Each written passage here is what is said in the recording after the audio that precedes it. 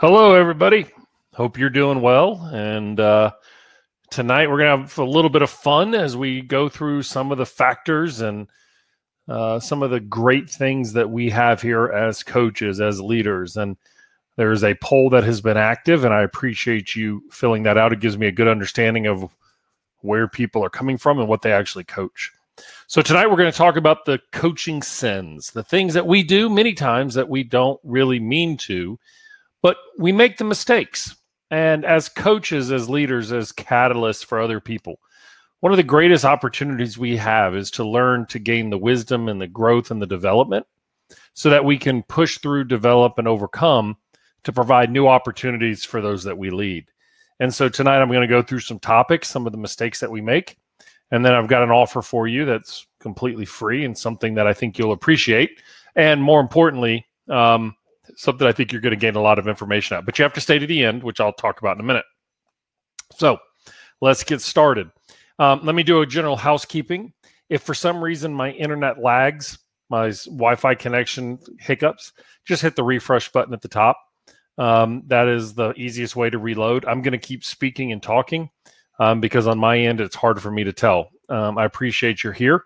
Um, I'm going to try to keep this to 40 minutes at the maximum. Um, that way, if there are any questions at the end, that we can answer them. If you do have a question, you can enter them in the chat.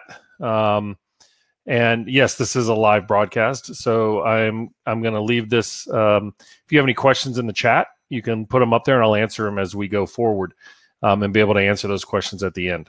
So, the seven sins of coaching and what you can do to avoid them. These relate to anybody who is responsible for coaching and leading another individual.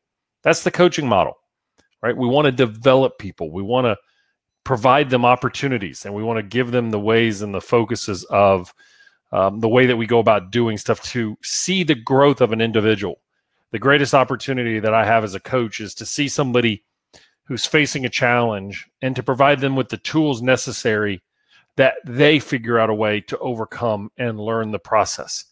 That's the brilliance of coaching and that's the that's what we all want to do, right? We don't want to open the doors. We want to teach them how to knock on them and how to knock them down themselves. That's the brilliance of coaching to face the insecurities and the doubts that we have to go from there. Okay. Um, so let's get started. Today's discussion, I want to talk a little bit about why coaching philosophy is so important and how it can help you. Um, I want to talk about some developmental case plans um, and, and really some tangible strategies that I've learned over the years of working with coaches um, and some of the differences between rules and standards that have developed. And lastly, maybe some tools to tap into the individual players, um, into their psychology, their developmental aspect, what makes them unique and them develop, and more importantly, how we can grow and and and push them through some of their own learning strategies that are there, but done so in a healthy and supportive manner. Um, there's a bonus at the end, and I'm going to share a file with you. Um, this is a ebook that I wrote. This is what this webinar is based on: the seven sins of coaching. These are the seven most common mistakes that I see coaches make, and what we can do to avoid them. And the reason why this book came about was I had individuals that would reach out to me, and and I kept hearing the same trends and the same um, really patterns develop. And those patterns are well-meaning. They're not mistakes that we make because we're being deviant or we're deciding to make mistakes, but instead it's the patterns that we make. You know, it's the mistakes that we make that really create more difficulty. And if we can eliminate or improve our mindset as we go into that as coaches, as leaders, we can help navigate through them. And I'm going to share that at the end of this webinar so you can download it. It's completely free and I hope you enjoy it. Give you a little background on me, if those of you who don't know me. Uh, I'm Dr. Bhrett McCabe. I'm a clinical and sports psychologist, which means I'm trained in the clinical side, which is the understanding of the human domain from wellness to illness from a psychological standpoint. And I specialized in really the multidisciplinary teams of the medical settings, working with people across a lot of settings to help a patient get better if they had medical conditions and then the psychological coping that went with it. Obviously, I was always interested in the sports side because I was a college baseball player. Um, and I learned through my own trials and tribulations what it took to succeed and to overcome because I had to focus on the mental game. Um, the cool thing is, as we're recording this. This today is the 30th, no, 29th anniversary of our first national title at LSU, which I was very fortunate to be a part of. So go Tigers into my 1991 LSU baseball Tiger teammates and fans. Go Tigers. Glad to see that. Now, that being said, I'm also the sports psychologist, the consulting psychologist for the University of Alabama Athletic Department. So roll tide. And the cool part about that is I get to interact with coaches across the entire coaching domain. Coaches that are the head coaches, all the way down to the graduate assistants and the student assistants, helping them understand what the best way to approach players. And the great thing is how they can tailor what they do to match the psychology and the developmental uh, process of each player they're working with. The days are gone that we treat all the players the same. You know that. But I want to teach you why that's so important from a psychological standpoint. And I hear coaches tell me all the time, Bhrett, I don't I don't feel like I should tailor everything I'm doing to every player I coach. Well, the problem is you're already doing that to the ones you struggle with you're tailoring a process and it's usually a wrong one or out of resistance and frustration.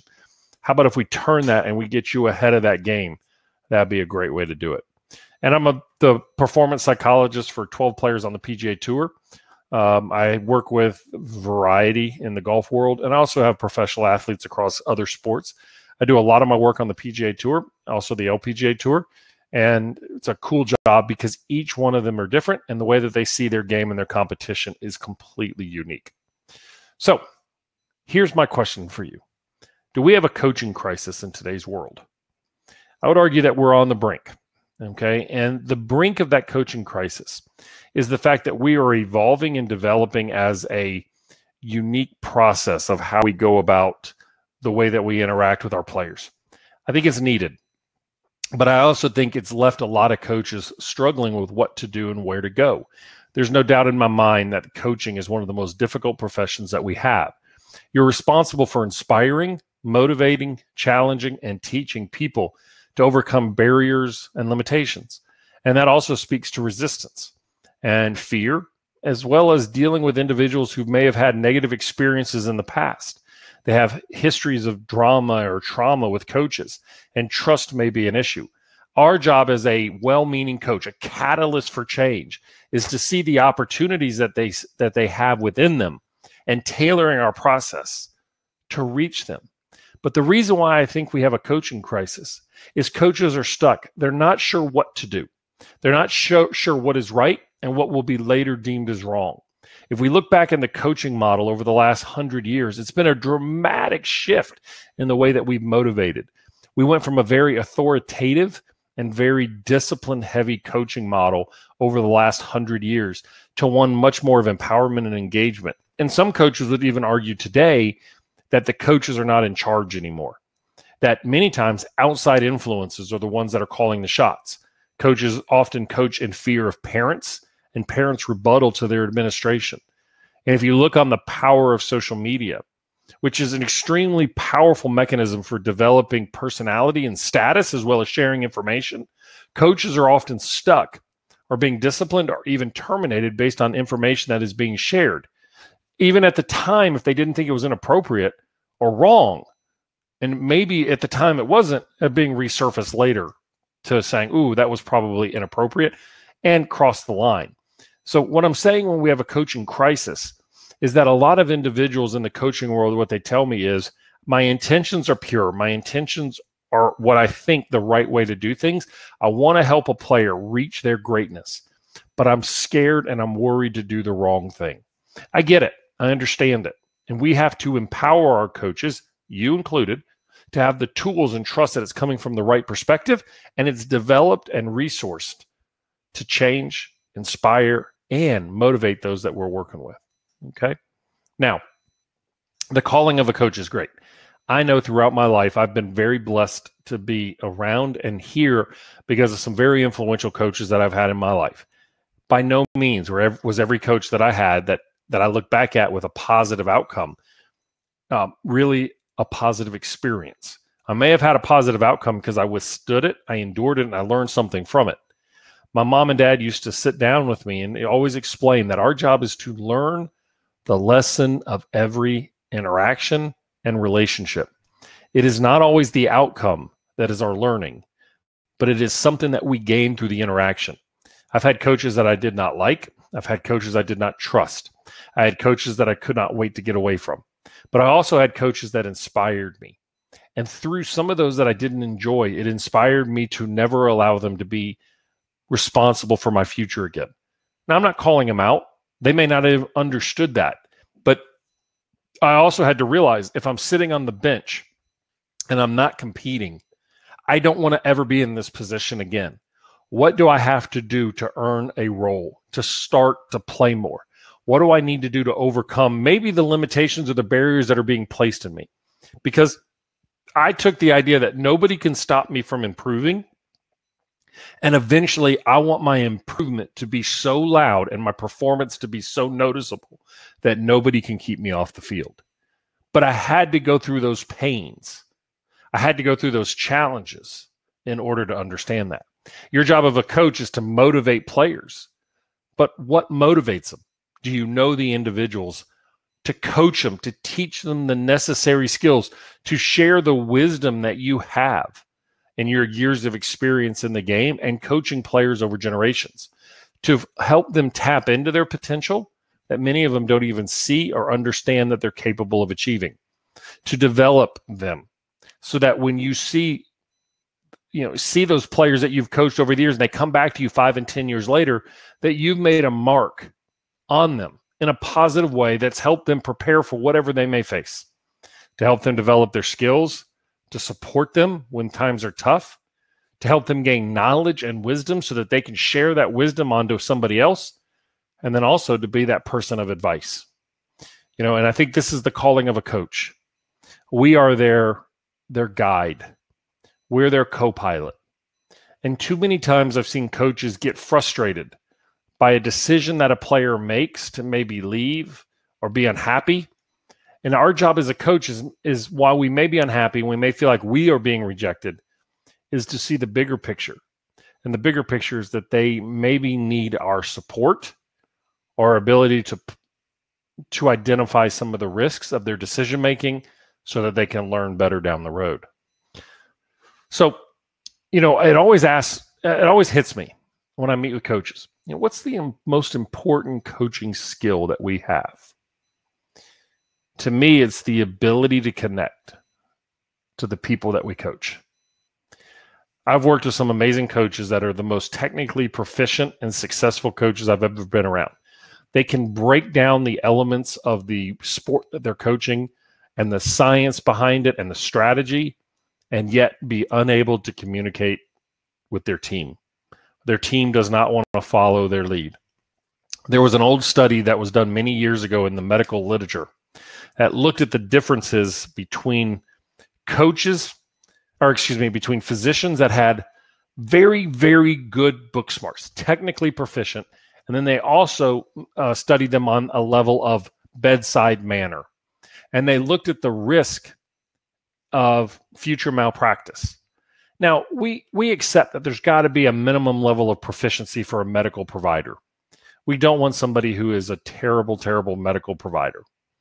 Um, and so, but what they found in this study was that the individuals who had the highest level of medical proficiency, but were on the lower side of the bedside manner, had a high incidence of malpractice rates. But those that were maybe not as good medically, but had the bedside manner, had a much lower malpractice rate. Now, is that saying they weren't as good of physicians? Heck no.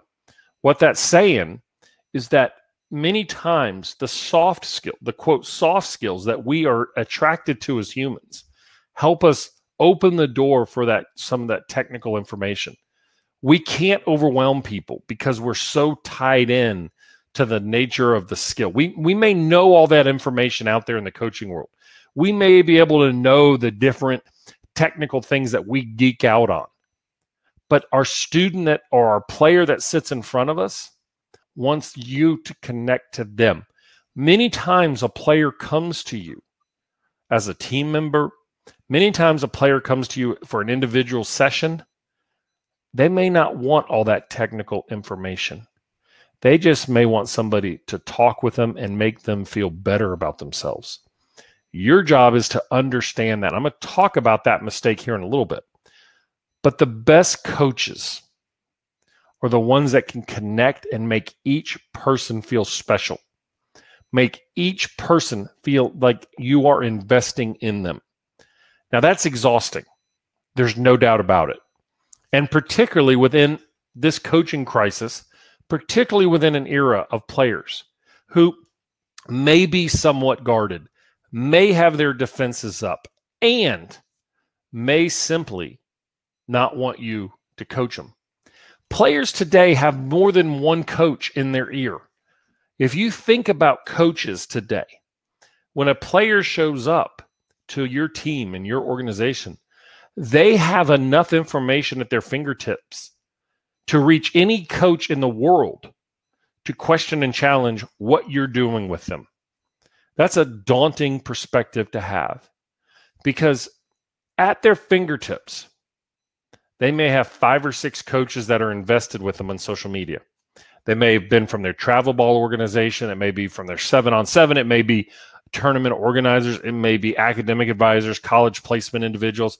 There are so, strength and conditioning, nutritionists, massage therapists. You're seeing more and more teams being put around and professionals like me being put around these athletes. And even on the professional ranks, not only are the coaches there, the coaches also have to work in a team of agents, financial planners, um, spouses, significant others, partners, parents, and so on. So we as a as a coach must understand not not our role, but really a perspective of what what we will see when we do this, what we will connect with when we're working with them. If you're in the business world, and you're coaching individuals, what are the who are the people that are in their ears that are influencing their decisions?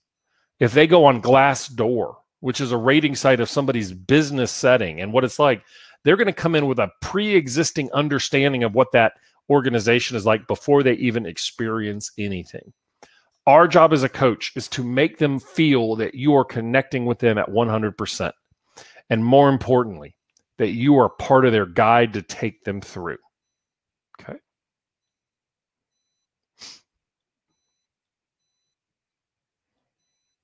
Okay. Now, let's dive into the mistakes that we that I see. I'm not going to go into a whole lot of detail with each of them because you're going to get that in the ebook, but I'm going to go into some ideas and some examples. Number one is that people fall in love with the X's and the O's. We lack a philosophical direction. We allow our own ego to guide growth. We influence, we have too many outside in, in variables involved for you as a coach. Um, we get caught up in organizational disarray and chaos. We our rules take precedent over standards, and I'll talk about that in a little bit more in depth. And we get impatient as coaches, and yet we preach that for our players. Don't get impatient. Stick with this, and yet we still get impatient. All right, let's talk about the first one. This is the single largest mistake that I make that I see. If our coaches, if you today would study human behavior across multiple different perspectives at a rate that is equal to the technical proficiencies of your domain, you would be a rock star. I want to repeat that again. If you would study psychology, human behavior at the rate that you study your technical proficiencies, you would be a rock star. Here's why.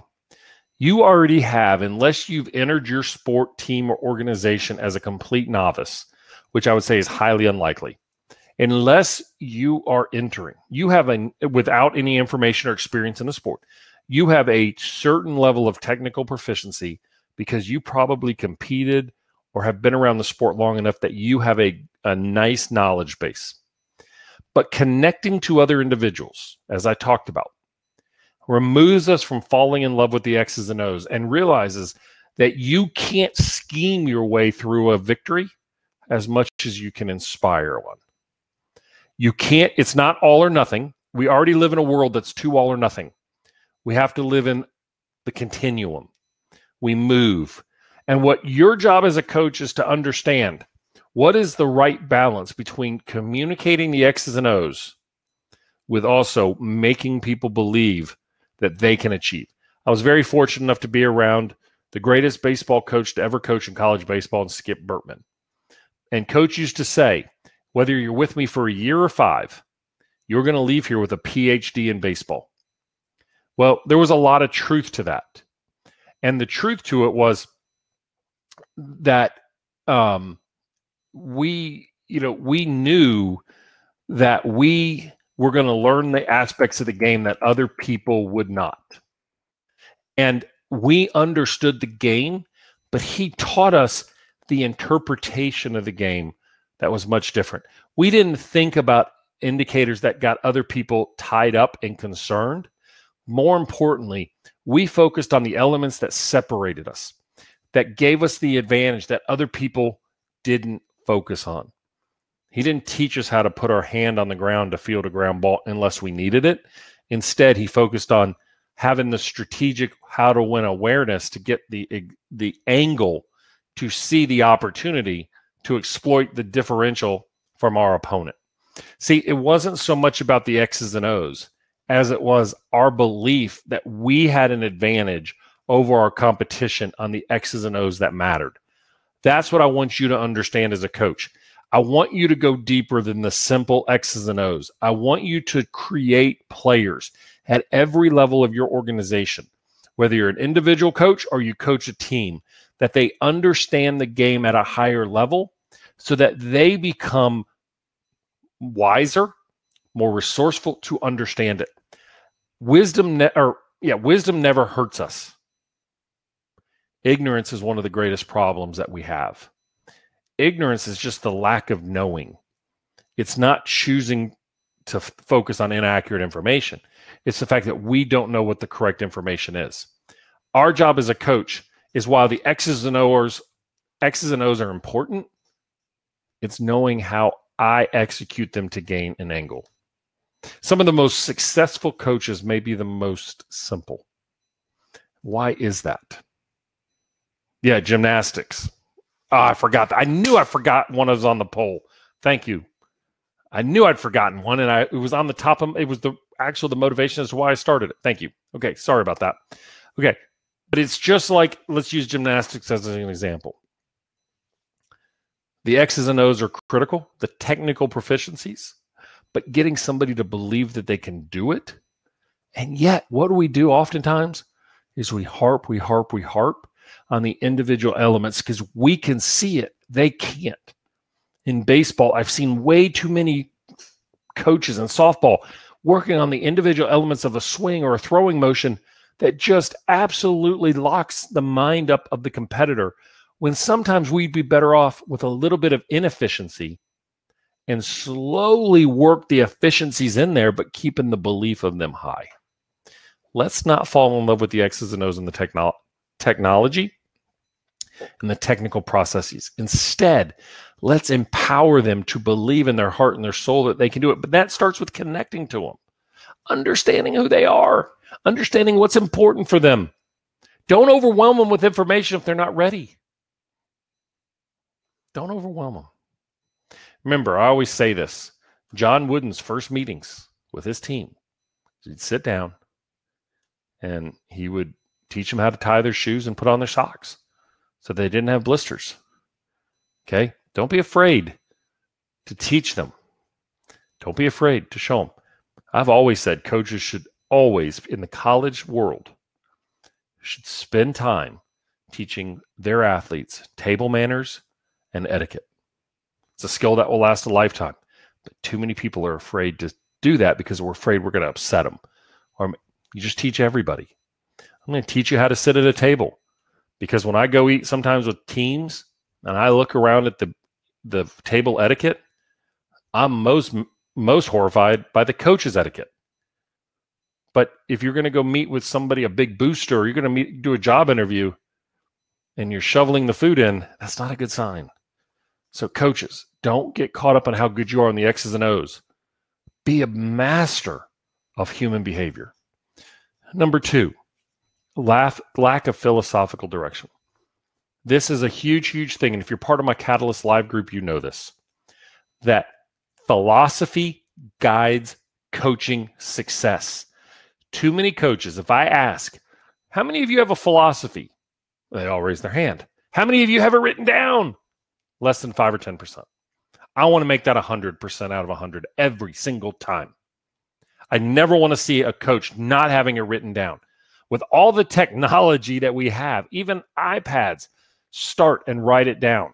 We're going to develop a way to develop to to uh, account for and write down your philosophical direction. But as a coach, it's as simple as how do you develop players? If you're a basketball coach, what are your inbound plays? What are your defense or your press defense? If you're a gymnastics coach, how do you coach the beam versus the vault versus the bars? What do you look for and how you develop your players? What do you look for in developing a player to go from JO to college? How do you, write all that down and start it? Yes, it's daunting.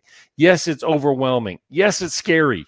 But can you imagine the greatest chefs in this world not having their recipes written down?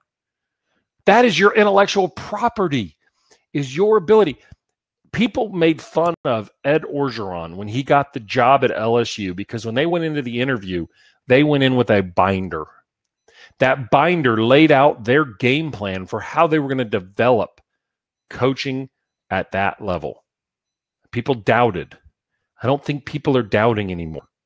He had an organizational vision of years and years of experience being around tremendous coaches that he had collected over the years. That's his blueprint for developing a championship level program. Write it down and keep it in a binder, and every year improve it. Those coaches who lack philosophical direction will fall for the newest, fastest thing ever. And I see this a lot. Coaches go to a conference, they have an amazing speaker who comes in, and the next thing you know, they want to do everything that that speaker said. They want to change what they're doing. Oh, I, I, I learned about this. I want to do this. Versus before we throw out the baby with the bathwater, can we evaluate our program every year? Can we come in and do a complete audit of our program? If you're in the travel ball organizations, if you own a gym, if you train individuals, if you're a high school coach, a college coach, or professional coach, every year you should have an audit of your program where you take the time after your season before you whenever your natural break is and spend the time doing a complete audit that self-awareness is critical for your long-term success it, it, it may be painful to see what you're where you're falling short but if you focus on the things that you're doing well, more than likely there's many more factors there that you're doing extremely well that we can improve. Okay.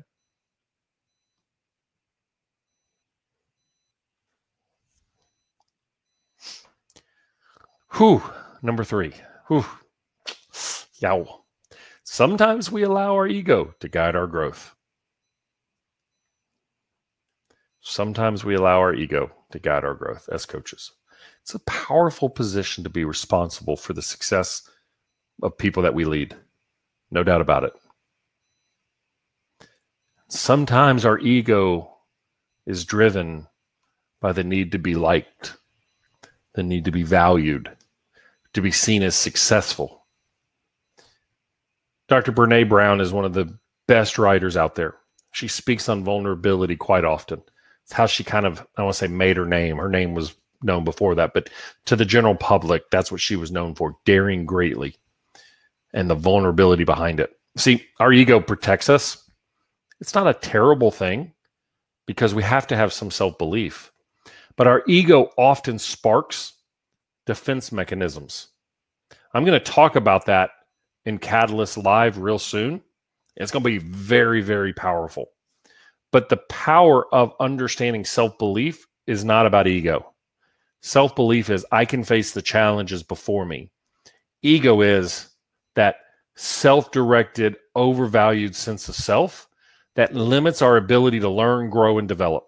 The number of times that I've seen coaches be very limited because they refuse to listen to outside sources, which is funny because that's an upcoming sin, but they don't develop and bring people in that they can learn from.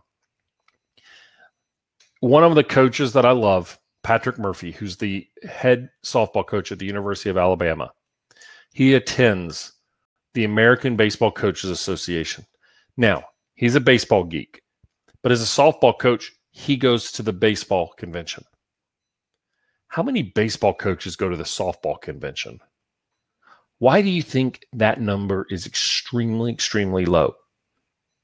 See, one of the brilliant, or one of the the brilliant, it wasn't brilliant. One of the motivating factors to why I created Catalyst Live was that I could bring multiple people in from multiple different sports and different backgrounds and genres, so that you can learn from them. So basketball coaches can learn from golf coaches. Golf coaches can learn from tennis coaches. Tennis coaches can learn from a football coach, and a, and a football coach can learn from a swimming coach. And business leaders can learn from all of those. See, what we coach is just simply how we apply our trade. The fact that you are a coach is your vocation. What I want you to understand is your ego is important, but make sure your ego does not hamper your personal or professional growth. Be a seeker of information. You can have a little bit of critical eye, maybe even a little skeptical eye.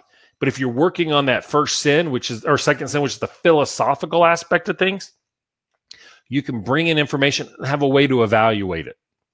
I've asked my college coaches before, you have brilliance on your college campus. You have diversity at every level. Why don't we bring in our professors and our teaching aides and our provosts and things like that to to speak to our teams? Now I know that there's limitations, but wow, from time, but wow, we could bring in some unbelievable speakers. They're right there. The biggest thing that we have to do as coaches is ask for help. Number four, now I just said I want you to bring in better speakers, better influences, better videos. But yet the fourth sin is the influence of too many outside variables. What I mean from that is a coaching standpoint. Don't become don't allow your decision making to be influenced by who provides you the money from an outside fundraising source. Okay, I understand finances are critical.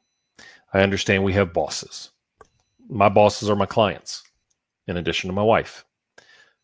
But you still have to make decisions. And as long as your intentions are pure, they're empirically supported, they're validated by years of experience, and you go through a decision tree, you're ultimately the decision maker. I find too many coaches worried about what a possible recruit may think. I mean, we're not talking about inappropriate comments, we're just talking about decision making. You know, I've seen coaches struggle with being able to you know, coach a player and be honest with the player because they're afraid that that player may run back to their travel ball coach and share that they weren't being liked. If there's not a framework for giving feedback and you're not able to have honest conversations, you're being influenced by outside variables and the what if.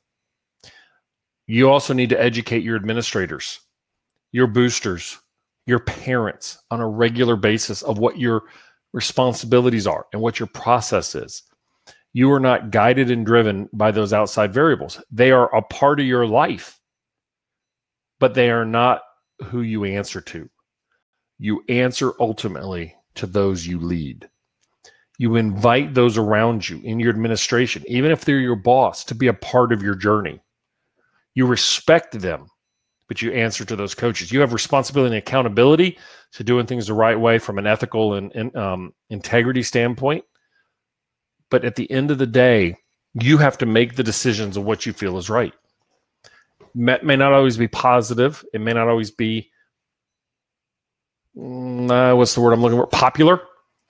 But it is the decision that you have to make because more than likely you have more information than anyone else. If you're not allowing ego to guide your growth and you are openly and actively collecting information, you'll be pretty wise in your decision making. That's what I want to make sure that you do. Number five, coaches. Your organization needs to be in order. If you're not an organized person like me, then you need to have somebody in your organization that is and empower them to keep the cupboards clean, keep the equipment room organized, to handle business appropriately and send emails out. Organizational disarray and chaos steals energy from your ability to coach. golf coaches, I'm going to pick on you for a minute. I walk in a golf coach's bay, I look around, and I start having chest pain. It's cluttered many times. And more than likely, many of the tools that you have in there, you haven't used in six months. Put them somewhere else.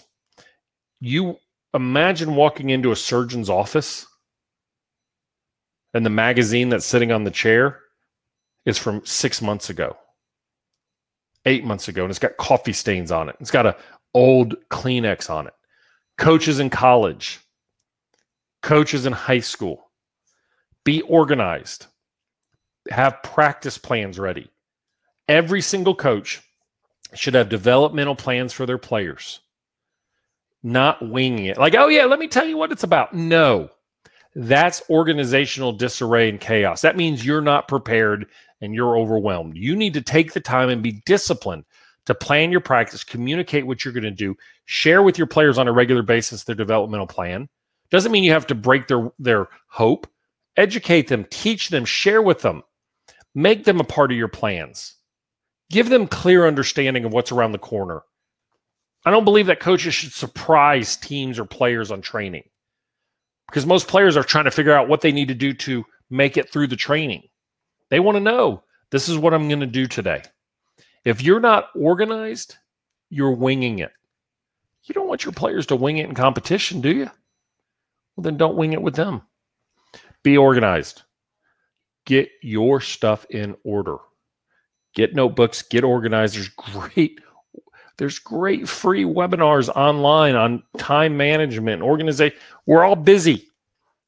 We're all busy. We got to be better. Okay. One of the things that happens when we've lost control of an organization is we implement rules instead of standards. Sometimes we have to have rules.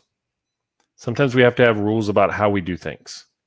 But one of the biggest problems we have in today's society is we don't explain why things are important. We tell our kids, be home at 10.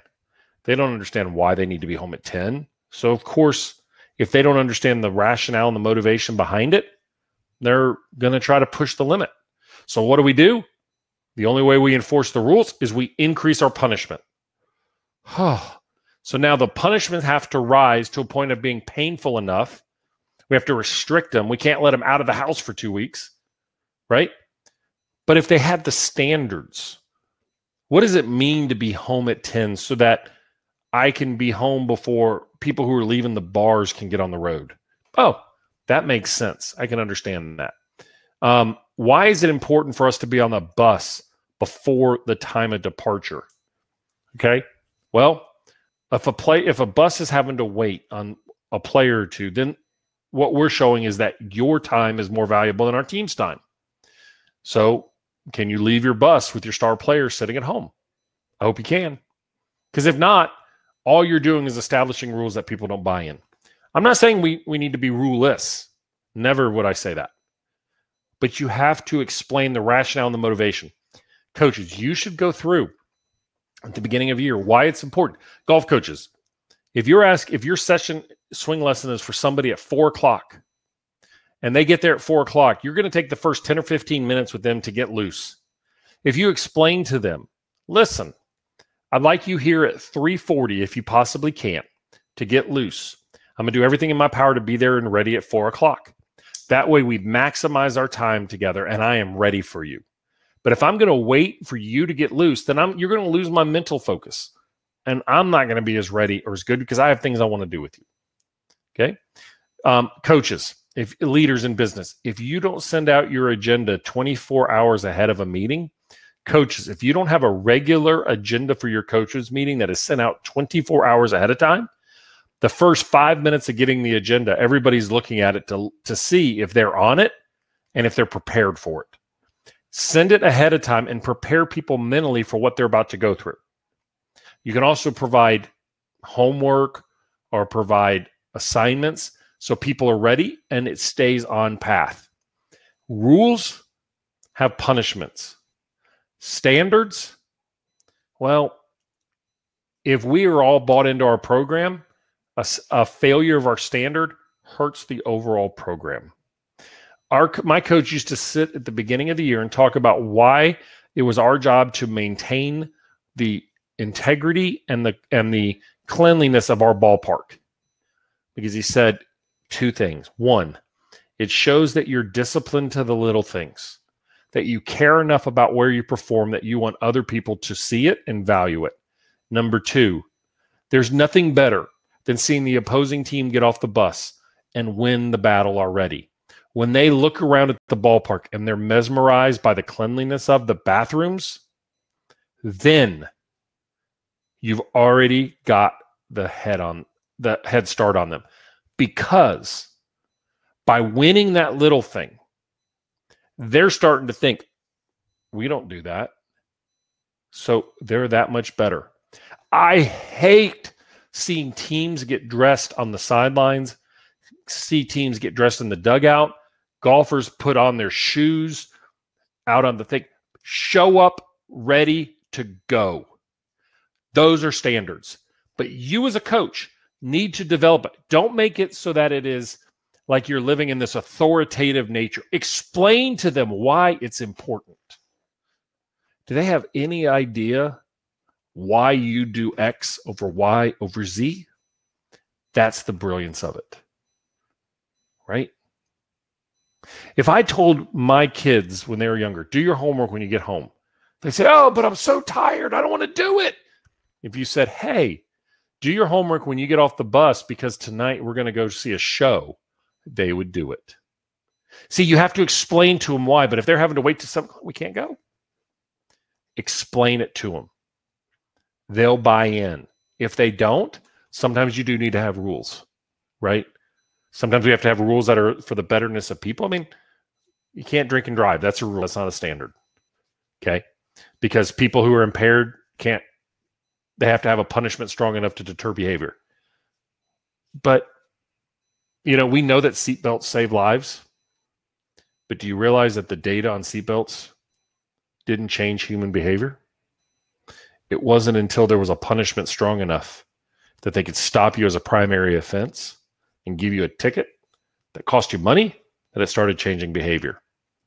Okay, so sometimes we need rules, but standards have the consequences that we as a team that's bought in don't want to have to deal with. So let's get to the core of why behavior varies. And then that becomes a standard that is carried on for generations. And you, as a coach, you don't need to enforce them anymore. Your team already does it for you. Number seven, Whew, I see this a lot. Coaches, you're developing a career in coaching. If you start coaching when you're 25 and you grad you graduate, you retire when you're in your late 60s. It's over 40 years of coaching. Just because you're not having the success that you want or you're not at the salary you want or you're not at the level you want when you're 35, be patient. Keep growing and developing. Okay. There are outliers in our field. We have to trust the process, the philosophy, and the system for when it's ready. And if we struggle and we don't have early success, we need to evaluate our process, but we have to continue to develop the process to be better and better and better. The time will come. Think about like farming land. You plant the seeds, right? And if I'm the wise farmer, because I got the gray beard, if I'm the wise farmer and you're the young farmer, you can have all the science and technology you want. And I go, yeah, you know what? We plant the corn now and it comes up four months later. I don't know. I'm not a farmer, but it comes out four months later. Okay. The young, the young gun, he or she says, oh, but see, my science says this. I've done this a lot. I, I know when it's coming up. You plant the seeds. Now's the hand wringing time, right? Well, you can look at all the data you want. I have years and years of experience. Okay. I may have missed once or twice, but I've got a pretty good understanding. You don't go out there and disturb the ground to see if the seeds are growing. You trust that they're going to push through at the right time. But remember this before we had fertilizer, they fertilized the land with cow manure. So you got to put push through a lot of crap to see the growth of your to be ready to be harvested when it's time for you. We all are running a different race. We all have a different start and finish line. right? There may be times that you're successful and you quote lost that power position. You lost a job, you lost an opportunity, you got beat, you lost a championship. Rebuild for the reemergence and become continuous, continually reinvesting in your growth and development. You have the opportunity to put faith, hope, you know, belief in so many people you work with. The Buddha Buddha has been quoted saying, "How many candles can a lit candle light?" The answer is infinite. You're a candle. You're a catalyst for growth. So let me ask you a question. Do you coach? Do you lead from a place of fear of what could happen or of purpose? I can deal with what will happen. As long as our intentions are pure, we're focused on philosophy and a desire, let's get rid of the fear and let's do it with purpose.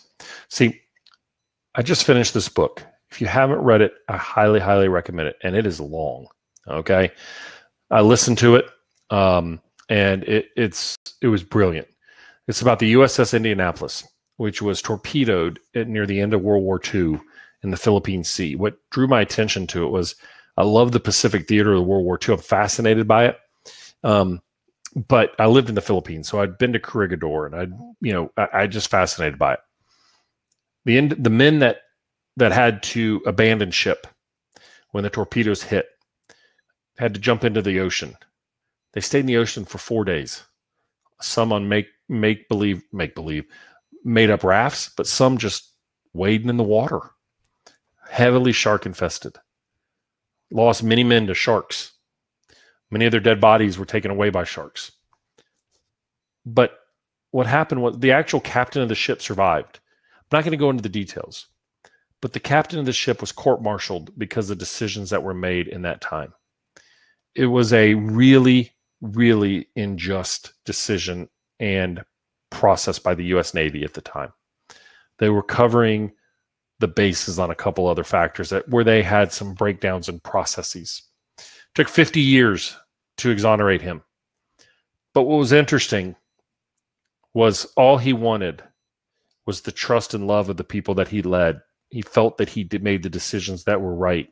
He couldn't overcome the decision. He couldn't influence the decision that the Navy made. They had predetermined what they made about him. But what what Captain McVay, who was the captain of the ship, as a leader, as a coach, as a catalyst, it didn't go his way. He lost a ship. He lost about a thousand men and he got court martialed. But he stood true that the decisions that he made came from a place of being educated in the circumstances that he was in. And I don't think he would have done anything different. I'm not saying that we want us to be on a sinking ship. Being a leader is hard, being a coach is brutally hard. I remember sitting down with Greg Sankey, the commissioner of the SEC, and we're sitting in this office, and I said, Commissioner Sankey, nobody understands what it's like to sit in that chair. And he said, Until you sit in that chair, you have no idea. The job that you have as a coach is hard. There's a lot of experts in the stands and on social media, but you have to understand to not be influenced by those outside sources and make the decisions with the people in front of you. You are ultimately a catalyst. Okay. You're a person that causes change or action in another immediately. I want to give you this. Um, I want to give you the slides on the presentation, but the uh, or the um, Seven Sins book. But before I do that, I've got an offer for you. Okay. What motivated the Seven Sins was the fact that led to the Catalyst Live. These are the weekly coaching calls that I do. Listen, it's under $20 a month. You get four live coaching sessions a month. If there are people on this call that that are there, you can put it in the chat. If you like it, I think it's great. Okay. I love it. It is the most fun that I have. I am running the offer now to you. It's not a sales call. I'm just telling you, coaches, you need resources.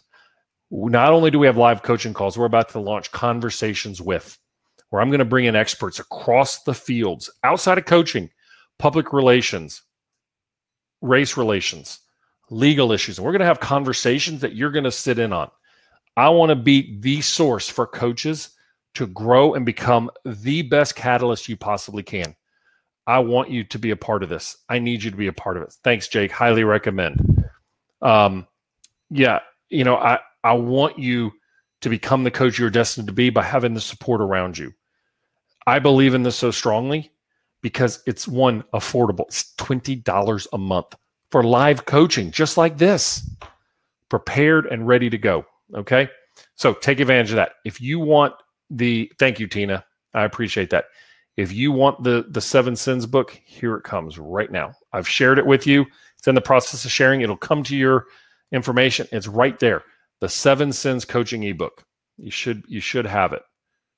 And I will keep that up while we get through. So the Catalyst School Live, weekly coaching sessions. Once I figure out technology, we're going to be even better, but it's hours of past trainings that are always available to you, always in a library, always available. Okay, we do them at different times of the day to try to make sure we hit everybody. I'm always available. Okay, so it's it's very inexpensive, 19.95 a month. And if you sign up in the next 90 minutes, you'll get a free seven day trial. What do you have to lose? Guess what? There's one in the next 24 hours that you can sign up for. It's completely free. And so if you sign up on mobile, it's right below you. If you're on desktop, it's right to my right when you're looking at the screen. Okay. So here's some of our social media testimonials. I appreciate people who have shared. They've made me better. Um, it's listen, a great teaching environment. Most of you are teachers. Well, I'd say all of y'all are teachers. Okay, I meant like went to school to be a teacher. Um, I didn't we understand how we get information. We learn through a lot of sources. I want to get these sources out there. I want to get us to be better. I want to bring you coaches that have been in the dumps and have overcome it. I want those that are on top that are continuing to win informations. Great information. Okay. This is brilliant stuff. I need you to join. I want to create a revolution of the most empowered and successful and wisest coaches that we can because we have the impact to change our culture to raise smart, empathetic, caring individuals that can dominate in their sports, dominate in the classroom, and dominate in the workforce. And if you're a business, listen, I know firsthand how hard it is to have great people. I've screwed up more employees than I've helped. Okay. Um, and I say that humbly, right? Um, we got to know the psychology of the people that we lead. If we don't, we're going to fail them. So I'm going to turn over to the chat. If you have any questions, I'm happy to answer it. Make sure you follow me on social media, please, please, please, please, please, um, because that's how a lot of my interactions go, and I'm always available for DMs. Um, you can go to thecatalystschool.com or bhrettmccabe.com for more information. So please take advantage of that. I really appreciate it. I'm going to end the poll, which is so we had 57% on the call golf coaches. Got my member guest this week. Hope I play well. I'm going to turn it over. If you have any chat questions, I will answer them.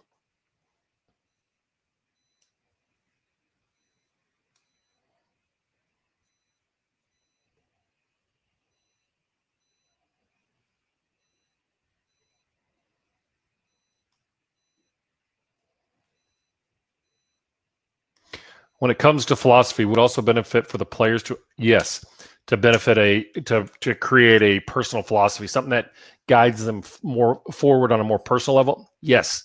Over time, I think every player should have a personal competitive philosophy. But a lot of times our players don't know what that is first and foremost, and they're intimidated by just solving the problem in front of them. So I think as part of your developmental plan for your players, I would absolutely have the process of developing the way that they approach things.